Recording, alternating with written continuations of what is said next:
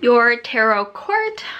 Read a read any deck with confidence by Ethony Dawn.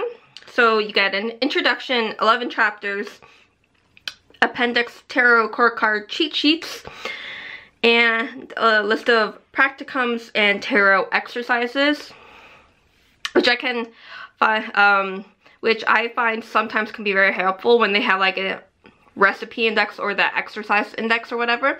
Because like if you want to like redo some of the exercises or go back to like the practices or whatever you don't have to look through the entire chapter. If you're looking for one specific exercise there you go. Off randomness but there we go. So it's a book specific to the core cards uh, chapter one, you're dealing with the structure of tarot. So there's a talk. There's talk of the entire deck. Um, you get an exercise and suggested uh, questions. So, which can be very helpful. Yeah, yeah, you can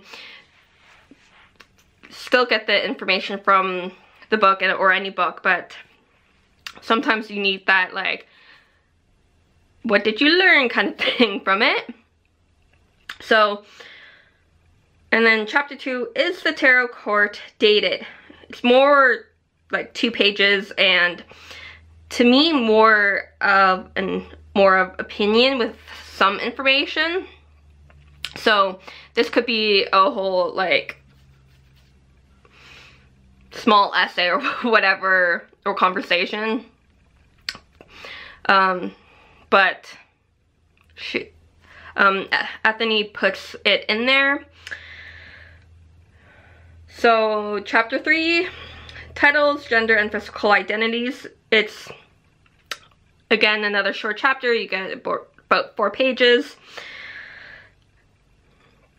So, at least with the copy that I have, I don't know if they're to really add any more, but I have the NetGalley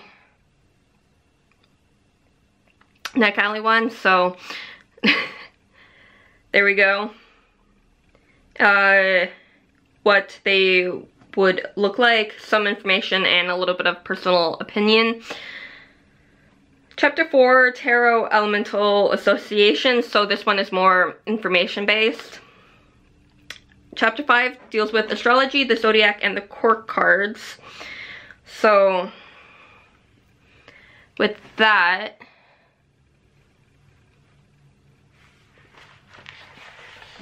I don't know if it will fully...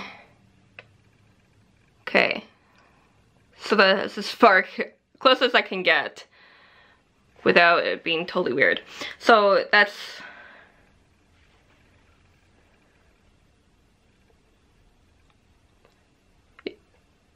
If you can somewhat see, that's the setup. You get um, a few, like, Earth's, Earth sign family.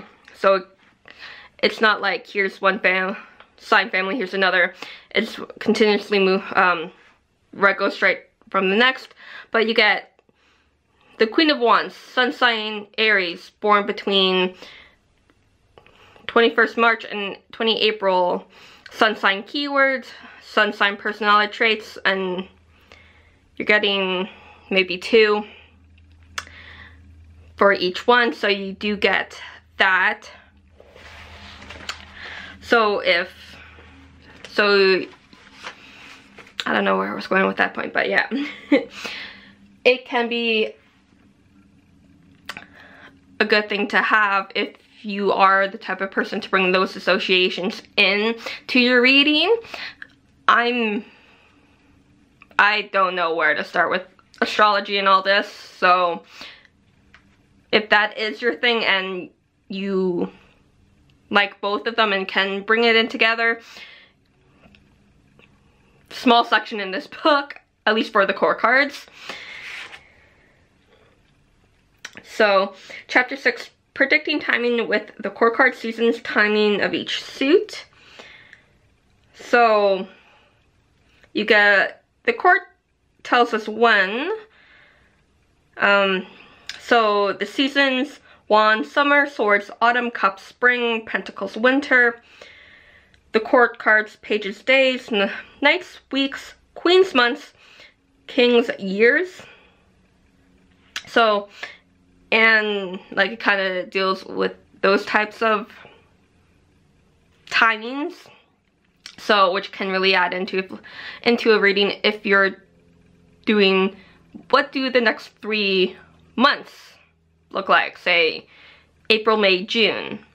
Uh, those three months are more of say spring. So if you could do like the the suit if you just want to do a specific section of the core of tarot as a whole cups would be would be it so if you want to kind of do a reading that way you got that hierarchy rules and the progression of the tarot court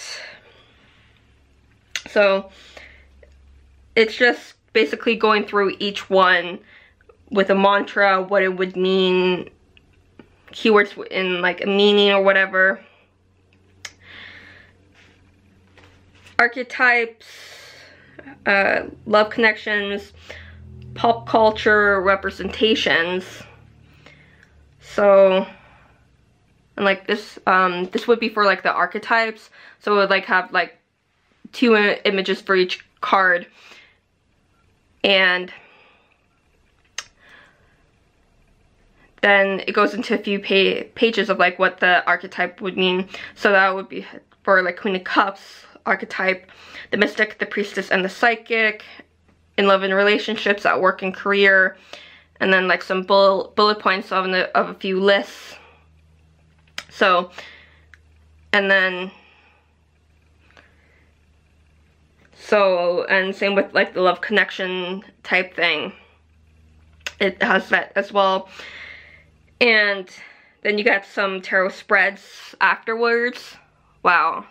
Did not expect this review to go this long, but whatever. I'm going chapter by chapter, so yeah. And then the appendix is just a summary of each card. And it does have a nice selection in the bibliography.